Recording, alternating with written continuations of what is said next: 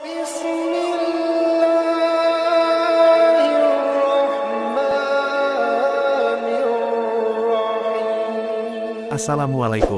selamat datang ke channel YouTube saya.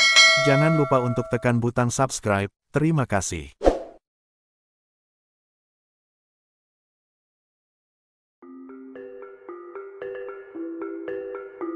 Dalam beberapa serial ke depan, Muslim, or, It insya Allah akan mengangkat suatu pembahasan mengenai alam jin karena urgennya pemahaman terhadap makhluk Allah yang satu ini, ditambah beberapa kekeliruan pemahaman yang ada di tengah-tengah masyarakat. Semoga bermanfaat. Jin tertutup dari pandangan manusia. Perlu diketahui bahwa jin berada di alam yang berbeda, bukan di alam manusia, bukan pula di alam malaikat. Jin dinamakan jin karena mereka tertutup dari pandangan manusia. Ibnu Akil mengatakan bahwa jin disebut jin karena mereka menjauh dan tertutup dari pandangan manusia. Demikian nukilan dari Akamul Marjaan fi Ahkamil Jan. Allah Ta'ala berfirman, Sesungguhnya ia dan pengikut-pengikutnya melihat kamu dan suatu tempat yang kamu tidak bisa melihat mereka. QS Al-Araf 27 Jin diciptakan dari api. Jin diciptakan dari api sebagaimana disebutkan dalam tiga dalil berikut ini. Dan kami telah menciptakan jin sebelum Adam dari api yang sangat panas. QS Al-Hijr 27 Begitu pula disebutkan dalam surat Ar-Rahman. Dan dia menciptakan jin dari nyala api. QS Ar-Rahman 15 Dalam hadits yang dikeluarkan oleh Imam Muslim, dari Aisyah, ia berkata, Rasulullah Shallallahu Alaihi Wasallam bersabda, Malaikat diciptakan dari cahaya, jin diciptakan dari nyala api, Adam diciptakan dari apa yang telah ada pada kalian. Hari, Muslim No. 2996. Jin diciptakan lebih dulu daripada manusia, sebagaimana disebutkan dalam ayat 26, 27.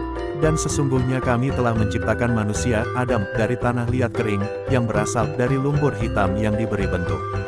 Dan kami telah menciptakan jin sebelum Adam, dari api yang sangat panas, QS. Al-Hijr, 26-27. Bentuk fisik jin. Kita tidaklah bisa memastikan bentuk fisik jin kecuali berdasarkan dalil. Di antara dalil menyebutkan bahwa jin memiliki kolbun, jantung, hati. Sebagaimana disebutkan dalam ayat, dan sesungguhnya kami jadikan untuk isi neraka jahanam kebanyakan dari jin dan manusia. Mereka mempunyai hati, tetapi tidak dipergunakannya untuk memahami ayat-ayat Allah, dan mereka mempunyai mata tetapi tidak dipergunakannya untuk melihat tanda-tanda kekuasaan Allah, dan mereka mempunyai telinga tetapi tidak dipergunakannya untuk mendengar ayat-ayat Allah.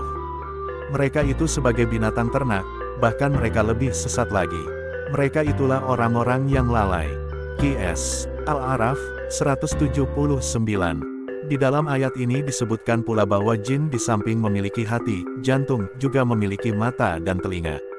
Bahkan setan memiliki suara sebagaimana disebutkan dalam ayat.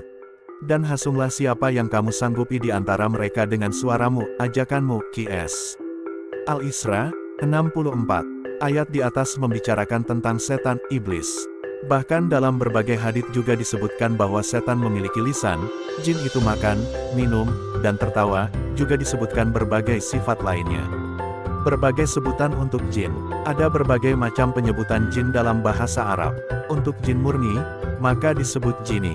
Untuk yang tinggal bersama manusia disebut amir, bentuk pluralnya adalah amar. Jin yang mengganggu anak kecil disebut arwah. Yang jahat dan sering mengganggu adalah syaiton, setan. Yang lebih jahat lagi adalah marit.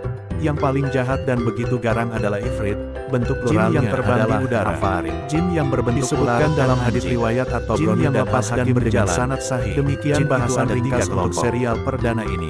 Moga Allah mudahkan untuk dilanjutkan pada serial berikutnya. Walahu a'lam, info referensi. Alamul Jin Wasi Syaiton, Syekh Prof. Dr. Umar bin Sulaiman bin Abdullah Al-Ashkor, terbitan Darun Nafais, cetakan ke-15, tahun 1423 H. Akeong Pesantren Darus Solihin, Panggang Gunung Kidul, 3 Jumadal Ula 1434 H. Penulis, Muhammad Abdul Tuasikal. Artikel Muslim, or It.